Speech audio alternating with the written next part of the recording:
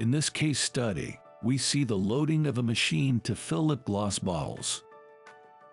It is a highly performing production line that reaches up to 90 products per minute.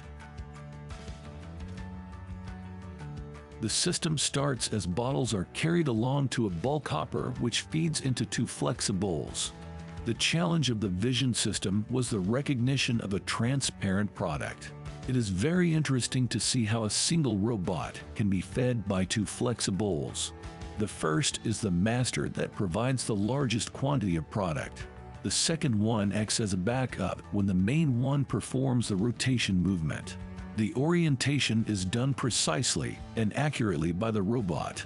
This exceptionally versatile system can be made to feed almost any products of a similar size to the bottles shown in this video. Furthermore, with Flexibowl, different products can be fed regardless of the type of material and surface treatment, such as glossy or metal surfaces. It can be made to feed brushes, pens, cups, tubes, flash drives, and many other products.